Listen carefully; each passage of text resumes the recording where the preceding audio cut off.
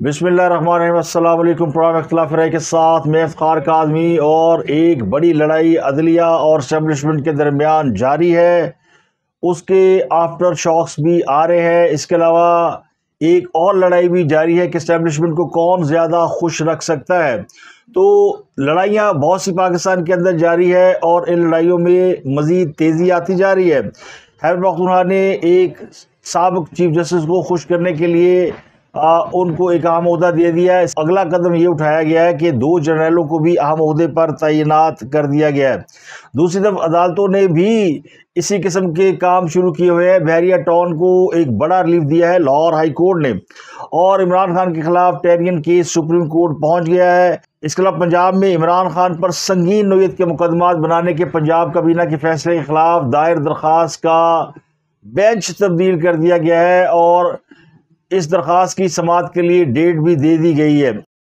اس کے علاوہ نو مئی کے مقدمات کے تیرہ اسپیشل پروسیکیوٹر تبدیل کر دیے گئے ہیں اور شاہ قریشی کو نو مئی کے مقدمات میں چودہ روز کے لیے جوڈیشل کر دیا گیا ہے۔ عمران خان کی اہلیہ بشرا بی بی کی بہن کے انکشافات یعنی خان صاحب کی سالی کے انکشافات نے ہلچل مچا دی ہے اور یوتھ یہ آپس میں گتھم گتھا ہو رہے ہیں۔ اس کے علاوہ اٹک میں ایک اے ایس آئی نے ماموں بنانے پر دو وکیل رہنماؤں کو قتل کر دیا، یہ معاملہ کیا ہے؟ یہ آپ کو بتائیں گے۔ اس کے علاوہ بیکڈ آٹے، دال، چاول، چینی اور مسالوں پر اٹھارہ فیصد جی ایس ٹی لگانے کا فیصلہ کیا گیا ہے۔ پی ڈی کے رہنما شہباز گل کے بھائی کو بازیاب نہ کرانے پر ایس پی ماڈل ٹاؤن اور ڈی ایس پی کو معطل کرنے کا تحریری حکم نامہ جاری کر دیا گیا۔ جبکہ خانے وال میں ایک سٹاف نرس کی گرفتاری اور سائی وال میں ڈاکٹروں کے ساتھ تنازع کے بعد پنجاب بھر کے اسپتالوں میں نرسوں اور ینگ ڈاکٹر نے ہڑتال کر دی اور او پی ڈیز وغیرہ بند کر دی، جس سے مریضوں کو کافی مشکلات کا سامنا کرنا پڑا ہے۔ تو اب بات کرتے ہیں کہ اس وقت سب سے زیادہ اینٹی اسٹیبلشمنٹ ہونے اینٹی امریکہ ہونے اور فوج کو اہم عہدے نہ دینے اور فوج کے خلاف پروپوگنڈا کرنے میں جو سب سے پہلے نمبر پر سیاسی جماعت ہے، اس کا نام ہے پی ٹی آئی۔ اس کا ایک کارنامہ سامنے آیا ہے، جس میں میجر جنرل ریٹائرڈ صلاح الدین قاسم، ان کو سوابی کمپلیکس اور major general Amjad Fahim Hayatabad medical complex کے بورڈ آف گورنر کے چیئرمین بنا دیے گئے تو دو سابق جرنیلوں کو خیبر پختونخوا حکومت نے اہم عہدے تفویض کر دیے ہیں۔ اس سے پہلے پشاور ہائی کورٹ کے سابق چیف جسٹس کو بھی ایک اہم عہدہ دے دیا گیا۔ تو یہ سب اپوائنٹمنٹس کوئی اور نہیں کر رہا، یہ علی من گنڈا پور سب کہہ رہے ہیں، جو کہہ رہے کہ جب ہم خیبر پختونخوا سے نکلے تو پھر اسلام آباد فتح کر کے دم لیں گے۔ اور جن کو وہ دن رات دھمکیاں دیتے رہتے ہیں، اور کہ سیاست میں تمہارا کوئی کام نہیں ہے، ان کو وہ سیاسی عہدے اور سول عہدے تفویض کر رہے ہیں۔ میں ویسے پنجابی کی مثالیں دیا کرتا ہوں، لیکن آج ایک اردو کی بھی مثال ہے کہ کیسا دیا گنڈا پور نے۔ تو گنڈا پور صاحب نے دو تقریہ کر کے ثابت کر دیا کہ کافی کچھ سیکھا ہے اور اب ایک دوڑ لگی ہے جس میں علی من گنڈا پور اسٹیبلشمنٹ کو خوش کرنے کی کوشش کر رہے ہیں۔ تو چاچو کمپنی ورسز گنڈا پور کمپنی۔ اب دیکھتے ہیں کہ کون زیادہ جو ہے وہ اس میں کامیاب رہتا ہے۔ ویسے تو علیمین گنڈا پور صاحب اس وقت اور ان کی جماعت خسارے میں چل رہی ہے، لیکن ان دونوں کے داؤ پہ جاری ہیں اور اس دوران پیپل پارٹی اوورٹیک کرنے کی کوشش کر رہی ہے، لیکن فی الحال موقع نہیں مل رہا۔ اور ان کا ایکسیڈنٹ ہوتے ہوتے رہ گیا، کیونکہ کل جب ناراضگی کی اطلاعات آئیں تو پھر کچھ لوگ انہیں سمجھانے پہنچ گئے۔ تیز رفتاری جاری ہے تو کوئی بھی ایکسیڈنٹ ہو سکتا ہے۔ اب چلتے ہیں آگے کہ یہ جو لڑائی ہے عدلیہ اور اسٹیبلشمنٹ کی، اس کے آفٹر شاکس بھی آ رہے ہیں، اس کے اثرات بھی آ رہے ہیں۔ اب ایک اور بینچ بنا دیا ہے، لاہور ہائی کورٹ نے پانچ رکنی، جس میں عمران خان کی توشہ کیس میں ناہلی کے خلاف درخواست کی سماعت بیس جون کو مقرر کر دی گئی ہے۔ ہاں صاحب کو توشانہ کیس میں سزا ہوئی تھی اور ان کو ناہل قرار دیا گیا تھا۔ اب ان کی ناہلی کے خلاف درخواست لاہور ہائی کورٹ میں سماعت کے لیے مقرر کر دی گئی ہے اور اچانک from out of nowhere یہ درخواست لگائی گئی ہے۔ تو لاہور ہائی کورٹ میں ایک طرف یہ معاملہ ہے، دوسری طرف عمران خان کے خلاف سماعت کرنے والا لاہور ہائی کورٹ کا بینچ بھی تبدیل کر دیا گیا ہے۔ عمران خان کے خلاف سنگین مقدمات بنانے کے لیے پنجاب کابینہ کے فیصلے کے خلاف دائر درخواست پر، جو لاہور ہائی کورٹ کی متوقع چیف جسٹس ہے عالیہ نیلم، ان کی سربراہی میں دو رکنی بینچ بنایا گیا ہے، جو بیس جون کو عمران خان کے کیس کی سماعت کرے گا۔ اس درخواست میں پنجاب حکومت اور دیگر کو فریق بنایا گیا ہے۔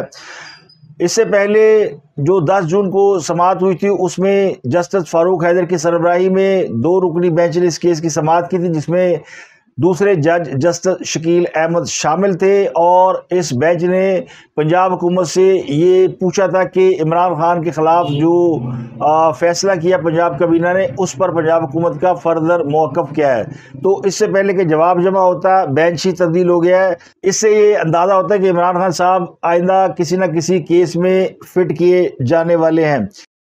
اس کے علاوہ عمران خان کا ٹیرین وائٹ کیس جسے اسلام ہائی کورٹ نے ریجیکٹ کر دیا تھا، تو اسلام ہائی کورٹ کا فیصلہ بھی سپریم کورٹ میں چیلنج کر دیا گیا۔ ہے اسلام ہائی کورٹ نے اکیس مئی دو ہزار چوبیس کو عمران خان کے خلاف جو درخواست تھی ٹیرین وائٹ کیس کی سماعت کے حوالے سے وہ ریجیکٹ کر دی تھی۔ تو اب ایک درخواست گزار محمد ساجد نے اسلام آباد ہائی کورٹ کے اس فیصلے کے خلاف درخواست دائر کی ہے اور یہ کہا ہے کہ عمران خان نے اپنی بیٹی ٹائرین وائٹ کو دستاویزات میں ظاہر نہیں کیا، جھوٹا بیان خلفی جمع کرایا اور اس کی ولدیت جو ہے وہ کیلیفورنیا کی عدالت نے ثابت کی ہے۔ لیکن اسلام آباد ہائی کورٹ نے درخواست گزار کو دلائل مکمل کرنے کا موقع ہی نہیں دیا۔ درخواست میں مزید کہا گیا کہ اس سے پہلے تین رکنی بینچ نے اس کیس کو سنا، فیصلہ محفوظ کیا۔ جسٹس عامر فاروق نے اپنا فیصلہ نہیں سنایا۔ دو ججز نے اپنا فیصلہ ویب سائٹ پر اپلوڈ کروا دیا۔ تو دو ججز کا فیصلہ قانون کے مطابق نہیں، تین رکنی بینچ دو ایک سے فیصلہ کر سکتا ہے۔ دہاس میں کہا گیا ہے کہ اسلام ہائی کورٹ کے فیصلے کے خلاف اپیل منظور کی جائے اور عمران خان کے خلاف نائلی کی درخواست منظور کی جائے۔ تو یہ دو کیسز جو ہے عمران خان کے بلکہ تین کیسز اب عدالتوں میں پہنچ گئے۔ اس کے علاوہ نو مئی کے حوالے سے بھی بہت اہم ڈیولپمنٹ یہ ہے کہ پنجاب میں نو مئی کے مقدمات کے جو پروسیکیوٹر ہے وہ تبدیل کر دیے گئے ہیں، تیرہ پروسیکیوٹر تبدیل کیے گئے ہیں۔ تو انسداد دہشت گردی عدالت میں عسکری ٹاور حملہ سمیت سانحہ نو مئی کے جتنے مقدمات زیر سماعت ہیں۔ ان میں یہ ایک بڑی اہم تبدیلی ہے کہ تمام پروسیکیوٹر بدل دیے گئے ہیں، جو نئے پروسیکیوٹر لگائے گئے ہیں، ان میں ایڈوکیٹ چودھری، ارغمان، احمد پاشا، آصف جوید قریشی، راؤ عبدالجبار، عارف اوان الیاس حبیب ملک سرود، رانا اشفاق، رانا منظور، رانا نوید، عاشق، رانا نعمان، شاہد محبوب منہاز، شاہد شوکت، ان سب کو پروسیکیوٹر لگا دیا گیا یہ اسپیشل پروسیکیوٹر سانحہ نو مئی کے مقدمات میں سرکار کی جانب سے پیروی کریں گے۔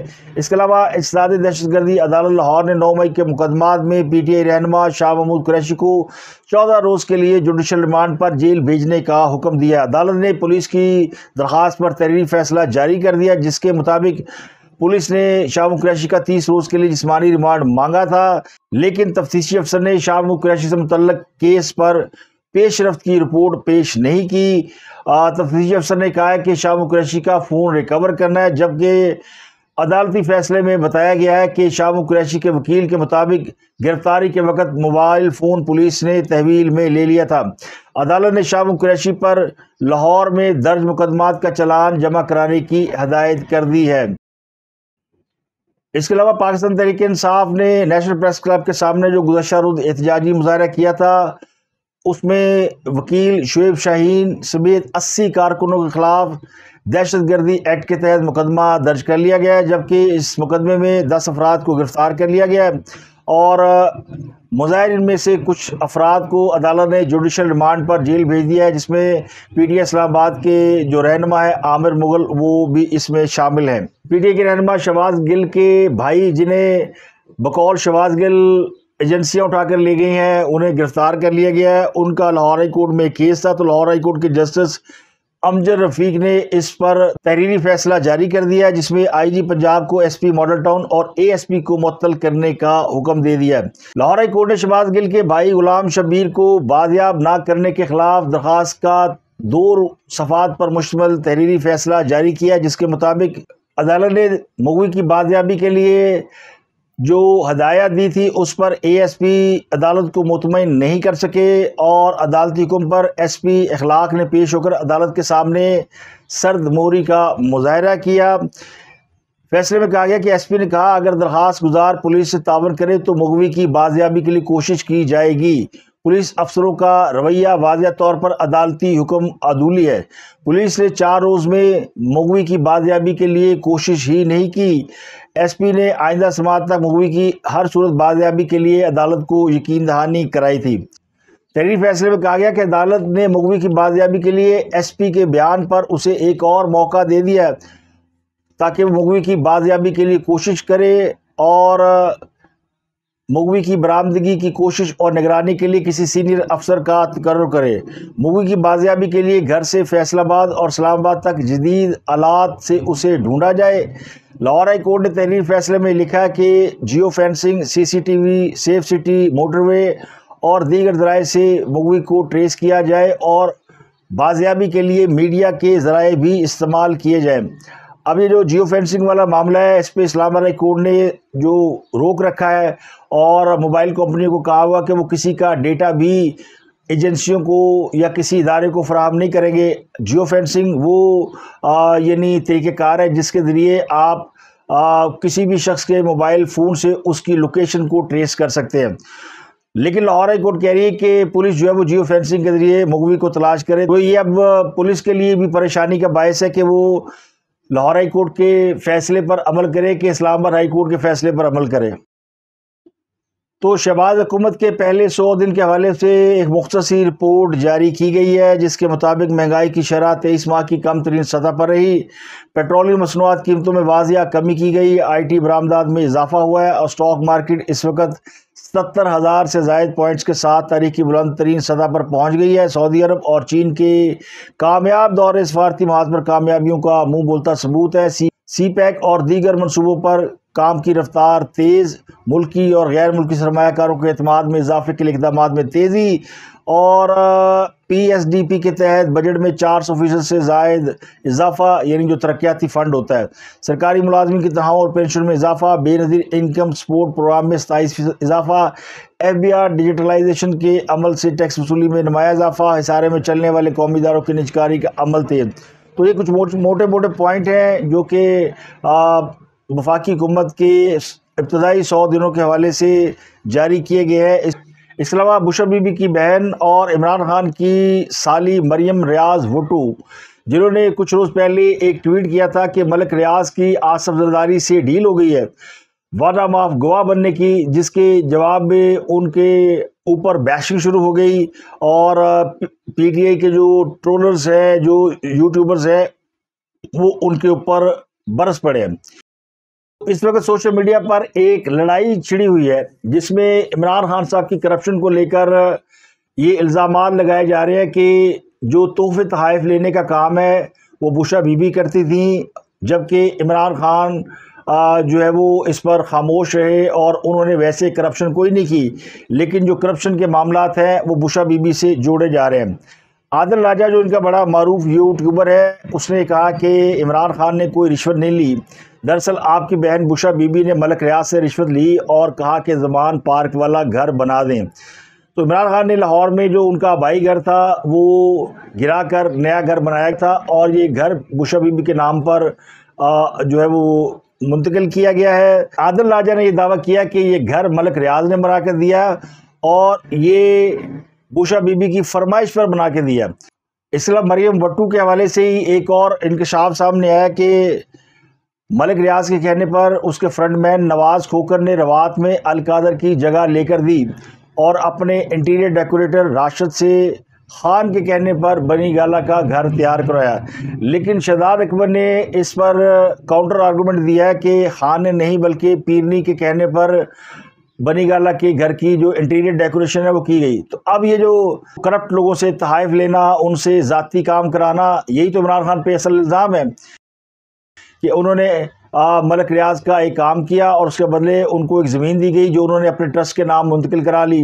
اور پھر، جو عمران خان کے ذاتی گھر ہے، جو بنی گالا میں گھر ہے، اس کی دوبارہ سے مرمت اور لاہور میں زمان پارک میں جو ان کا گھر ہے، اس کی دوبارہ سے تعمیر۔ یہ دونوں کام ملک ریاض اور ان کے فرنٹ مینس نے ان کو کر کے دیے۔ اور اب اس کا جو الزام ہے، جو پی ٹی والے ہیں، وہ کہتے ہیں کہ ملک ریاض نے بوشا بی بی کے کہنے پہ کام کیے۔ عمران خان نے ان سے یہ نہیں کہا کہ ان کو گھر بنا کے دے اور یا ان کے گھر کی انٹیریئر ڈیکوریشن کر کے دیں تو کیا عمران خان صاحب نے آنکھیں بند کی ہوئی تھی کیا عمران خان کو نہیں پتا تھا کہ لاہور میں ان کا گھر اگر دوبارہ بن رہا ہے تو وہ کون بنا رہا ہے؟ اس کے اخراجات کون ادا کر رہا ہے؟ تو بنی گالا میں ان کے گھر کی جو ڈیکوریشن ہو رہی ہے، اس میں نئی نئی چیزیں لگ رہی ہیں تو وہ کون لگا رہا ہے؟ تو یہ ایسے ہی باتیں ہوتی ہے کہ فلاں کو نہیں پتا، یہ آپس میں ظاہر ایک انڈرسٹینڈنگ ہوتی ہے۔ اب چونکہ عمران خان کے جو فالوور ہیں، وہ بشا بی بی کو تنقید کا نشانہ بناتے ہیں اور جو بشا بی بی کے فالوورز ہیں، وہ عمران خان کو تنقید کا نشانہ بناتے ہیں۔ تو یہ ایک اندرونی لڑائی چل رہی ہے اور اس کے نتیجے میں جو انکشافات کیے جا رہے ہیں کہ ملک ریاض کی آصف علی زرداری سے کوئی ڈیل ہو گئی ہے، یہ انکشاف بھی بشا بی بی کی بہن کر رہی ہیں۔ اور ملک ریاض نے چند دن پہلے جو ٹویٹ کیے تھے، اس میں وہ یہ کہہ رہے تھے کہ وہ کسی قیمت پر بھی عمران خان کے خلاف کسی مقدمے کا گواہ نہیں بنے گا اور اوور مائی ڈیڈ باڈی اور اپنی جان قربان کر دے گا اور وہ کسی دباؤ میں نہیں آئے گا کمپرومائز نہیں کرے گا۔ لیکن یہ اچانک ہی اب ان لوگوں کے لیے جن کے لیے وہ اپنی قربانی دینے کا کہہ رہا ہے، وہی لوگ یہ دعویٰ کر رہے ہیں کہ ملک ریاض اب بک گئے ہیں۔ ملک ریاض والا گواہ بن گیا ہے۔ اب ملک ریاض کو ظاہر ہے وہ بزنس مین آدمی ہے اور اس میں کوئی دو رائے نہیں کہ اس نے یہ جو ٹویٹ کیا تھا یا یہ جو اپنا بیان دیا تھا کہ وہ بکنے والا نہیں، وہ جھکنے والا نہیں وہ اس لیے دیا تھا کہ اس سے کوئی رابطہ کرے، وہ بک بھی جائے، وہ جھکنے کے لیے بھی تیار ہے۔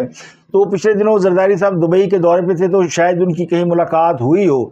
میرے پاس تو کوئی رپورٹ نہیں ہے، لیکن جو ذرائع وہ کہتے ہیں کہ ملک ریاض صاحب ان سے ملے ہیں۔ تو ملک ریاض اور آصف زرداری کی بڑی پرانی قربت ہے۔ یہ قربت یہ ہے تو جس کی وجہ سے ملی ڈیولپمنٹ اتھارٹی سندھ کی ہزاروں ایکڑ زمین ملک ریاض صاحب کو دی گئی تھی، جس سے یہ جو کرپشن کے بڑے معاملات ہیں، یہ شروع ہوئے تھے۔ ملک ریاض نے ہی بیریٹر لاہور کے اندر پیپل پارٹی کو ان کا ایک سینٹرل مرکزی سیکٹریٹ جو کروڑوں روپے مالیت سے بنایا گیا، بلکہ اربوں روپے مالیت کا ہے، وہ گفٹ کیا۔ تو یہ گفٹ ایسے نہیں دیے جاتے اس کے پیچھے کوئی نہ کوئی معاملات ہوتے ہیں۔ اب جو مریم وٹو ڈیل کی بات کر رہی ہے یا وعدہ معاف گواہ بننے کی بات کر رہی ہے۔ وہ ایک طرح سے اس کو تقویت اس بات سے ملتی ہے کہ لاہور ہائی کورٹ نے بھی بحریہ ٹاؤن کو ایک بڑا ریلیف دے دیا ہے۔ اور بیریا ٹاؤن کا جو کنٹری کلب ہے، اس کو فوری طور پر ڈی سیل کرنے کا حکم دے دیا ہے۔ تو بیریا ٹاؤن کو یہ ریلیف ملنا بتاتا ہے کہ ملک ریاض صاحب پر ہاتھ ہلکا اور ہاتھ ہلکا ہونے کے پیچھے پھر مریم وٹو کا یہ بیان درست مانا جا سکتا ہے کہ کہیں نہ کہیں ان کی انڈرسٹینڈنگ یا ڈیل ہو گئی ہے۔ زرداری صاحب سے یا کسی اور سے۔ اور ان کو شاید اکوموڈیٹ کرنے کی کوشش کی جا رہی ہے۔ لیکن جو بشا بی بی اور ان کے جو ناقدین ہیں، ان کے درمیان جو لڑائی چھڑی ہے، اس میں بڑے دلچسپ قسم کے انکشافات ہو رہے ہیں۔ ایک اٹک سے خبر آئی کہ الیڈ فورس کے ایک اے ایس آئی نے دو وکلا کو چیمبر میں گھس کر مار دیا۔ اب یہ جو دونوں وکلا تھے، یہ بڑے نامی گرامی وکلا ہیں اور یہ بار کے عہدے دار بھی رہے ہیں، جن میں سابق صدر ڈسٹرکٹ بار اٹک اسرار احمد اور ایڈوکیٹ ذوالفقار مرزا، یہ دونوں شامل ہیں۔ اب پولیس کا موقف یہ کہ یہ جو شخص جس نے ان دونوں وکلا کو چیمبر میں گھس کر مارا، یہ ان دونوں میں سے ایک وکیل کا کلائنٹ تھا اور اس کے پاس ان کا فیملی کیس لگا ہوا تھا، جس میں ایلیٹ فورس کے A S I per degree ہو گئی اور جو وکلا تھے وہ دونوں آپس میں بیٹھ کر کھانا شانا کھا رہے تھے گپ شپ مار رہے تھے۔ تو اے ایس آئی کو یہ شبہ تھا کہ دونوں وکیل ملے ہوئے ہیں اور ان دونوں نے مل کر فیصلہ اس کے خلاف کرا دیا ہے۔ تو جب وہ اسلحہ لے کر ان کے چیمبر میں گھسا تو دونوں وکیل آپس میں گپ شپ کر رہے تھے۔ تو اے ایس آئی کے شعبے کو اور زیادہ تقویز ملی تو اس نے فائرنگ کر کے دونوں کو موقع پہ مار دیا۔ پولیس نے مارنے والے کو گرفتار کر لیا، بلکہ اس الیٹ فورس کے جو ایس ایچ او تھے، ان کو پکڑ لیا، گاڑی کے ڈرائیور کو پکڑ لیا، کیونکہ یہ الیٹ فورس کا اے ایس آئی وہاں پر ڈیوٹی کر رہا تھا۔ Chairman F B R Zubair Tiwana نے کہا کہ آئندہ مالی سال سے پروسیسنگ پیک آٹا، دال، چاول، چینی اور مسالوں پر اٹھارہ فیصد سیل سیکس عائد ہوگا۔ اور یہ کامیاب کمیٹی کا ایک اجلاس تھا، جس میں چیئرمین ایف بی آر اور انڈسٹری کے نمائندہ شیخ وقار احمد نے بھی شرکت کی۔ چیئرمین ایف بی آر کا کہنا یہ تھا کہ اٹھارہ فیصد جی ایس ٹی تمام پیکنگ والی اشیاء پر لگایا گیا ہے۔ کھلی اشیاء پر کوئی اضافی ٹیکس نہیں لگایا گیا، جبکہ فارمولہ دودھ پر عائد کردہ آٹھ فیصد جی ایس ٹی میں کمی کی سفارش کی گئی ہے۔ چیئرمین ایف بی آر نے کامیاب کمیٹی کو یہ بتایا کہ اٹھارہ فیصد G S T local process دودھ پر لگایا گیا ہے۔ یہ فارمولہ دودھ غریب مائیں بچوں کے لیے استعمال نہیں کرتی۔ انہوں نے یہ بھی کہا کہ کبھی کسی غریب بندے کو بچوں کے لیے مہنگا فارمولہ دودھ خریدتے نہیں دیکھا گیا۔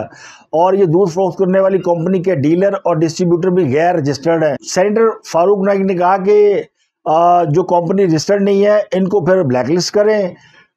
سیلز ٹیکس، انڈائریکٹ ٹیکس ہے جو صارف کو ادا کرنا پڑتا ہے۔ کمیٹی کے جو سربراہ سلیم مانڈی والا، انہوں نے کہا کہ ملک میں خواتین کی اکثریت بچوں کے لیے فارمولہ دودھ استعمال کرتی ہے۔ ڈبہ پیک دودھ تیار کرنے والی کمپنی تین چار سال سے قیمتیں بڑھا رہی ہے۔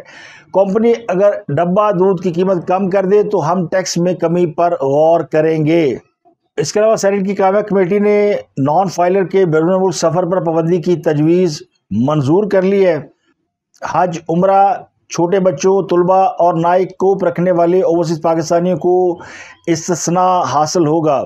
چیئرمین ایف بی آر کے مطابق نان فائلر کی موبائل سم، بجلی اور گیس کے کنیکشن بھی منقطع کیے جائیں گے۔ فاروق نائک کے مطابق نان فائلر کے بیرون ملک سفر پر پابندی کا مطلب ایگزٹ کنٹرول لسٹ میں نام آنا ہی سمجھا جائے۔ اور چیئرمین ایف بی آر کا یہ کہنا ہے کہ صرف گاڑی پلاٹ یا گھر خریدنے کے لیے وقتی فائلر بننے والوں کو بھی اضافی ٹیکس دینا ہوگا۔